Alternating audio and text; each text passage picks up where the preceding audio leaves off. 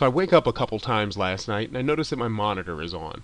And I kept coming up with excuses in my head as to why it was on. Maybe it hadn't been 30 minutes or whatever I've set my uh, my display to go to to go to sleep. And whatever else. Maybe the cat walked across the keyboard. But I knew I honestly knew in the back of my head that something was preventing the computer from going to sleep. Fortunately, I've actually run into this problem before, and I knew it probably had something to do with the Adobe Flash Player running in my Firefox browser. But, uh, you know, so I made excuses, and then this morning I decided to troubleshoot it, and I was right. Uh, the one problem is, is I've reinstalled this computer recently, so I forgot what the command was.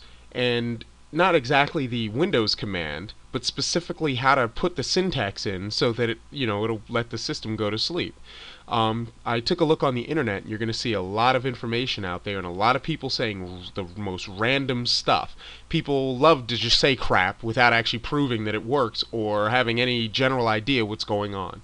Uh, so I made this video. I want to show you that it does actually work and how to be as specific as possible in isolating the issue. So again, I've already indicated that it's the uh, the Adobe Flash Player. Now the uh, the browser, obviously the Flash player is running in the browser, but there's an actual executable for the Flash player that's running. So some people have suggested, oh, well, you need to stop the browser from preventing the computer to go to sleep, because in their minds it's logical, but that doesn't do anything in reality. In reality, you specifically have to specify a specific process, a specific executable, and tell the computer to, you know, recognize that and not let it prevent it from going to sleep. So uh, let's go ahead and get into the nuts and bolts here the first thing you have to do is open up your command prompt and you have to run it as elevated command prompt otherwise this is not going to work. And uh, we're going to take a look first at the uh, processes that are preventing the computer from going to sleep right now. We can do that by typing power cfg dash requests plural. And you're going to see here that there's a display process of Adobe Flash Player and a system driver the high definition audio device that theoretically are causing this system not to go to sleep.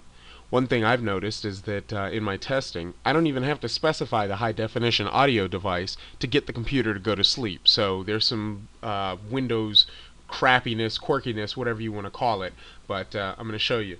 So the first thing I'm going to do is prove to you that this system is not going to sleep. Um, I'll let this get to 40 or 55 seconds and then stop moving it around. And then uh, we're going to see that when we get back to 55 seconds, oh, uh, maybe it'd be good if I showed you that it's actually set up for that. So let's go to personalize. Screensaver, uh, it's actually set up for 30 minutes. That would have been a long wait. Uh, so uh, we're going to stop it at 15 seconds. I'll let it go around.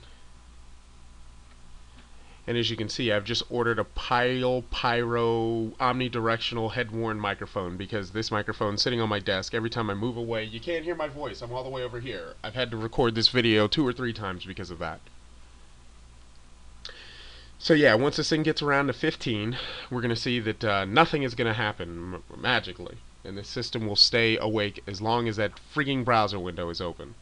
Obviously, the workaround would be just close the browser window. But as you can see in my case, uh, that wasn't my thought process, and it probably isn't yours if you're looking at this video. I don't like workarounds, I like solutions.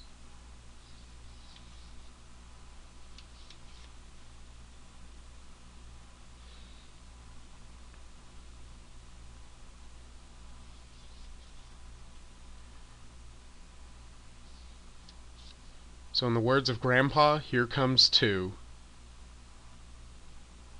and nothing happens. So obviously we know that uh, something's preventing the system from going to something's preventing the system from going to sleep, and uh, we've identified it. So now the question is, is how do we tell that uh, executable to not be allowed to prevent the system from going to sleep? So I'm going to show you how to do that. Uh, first, you're going to type power cfg dash requests override, and you have to specify that it's a process because it's a process, and now for the syntactical part that really make that really matters here. Some people will suggest that you need to put this entire string in there. All of this. You don't need all of that crap. All you need is the name of the actual executable. You don't care where it's at. Um, so in order to do that, the first thing you can do in your command prompt is right click and go to mark. When you do that, it'll give you a little box that you can select a, uh, a little bit of text. It doesn't work like in a browser where you select uh, a bunch of text. Uh, as you can see, it kind of just creates this little square. So I'm going to select the first part of the executable and you press enter to copy it to the clipboard. You cannot just control V to paste it in. You're going to get that weird symbol. You have to right click and paste that in. And then I'm going to right click mark and get the rest of this name. Press enter. And just paste it in there.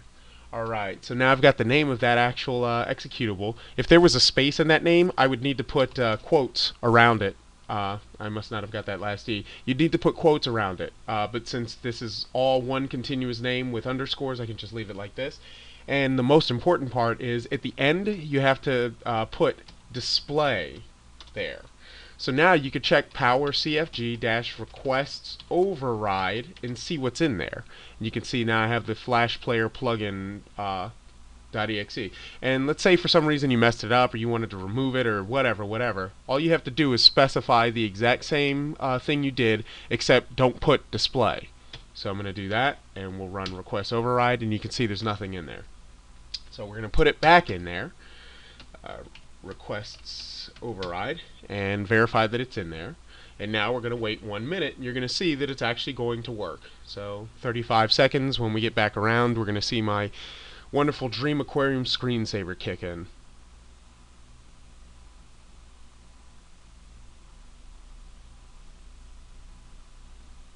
And of course, one of the uh, interesting things, like I mentioned, I didn't have to specify the high definition audio device. I have no idea why this works. Uh, if anybody understands this better than I do, I'd love a explanation. I'll update the video or I'll update the uh, description text to include what's going on here. But uh, as of now, uh, like I said, I was very specific. I nailed down exactly what was preventing the system from going to sleep, and I'm showing you just that. So you'll have confidence uh, that you can make it work for your situation.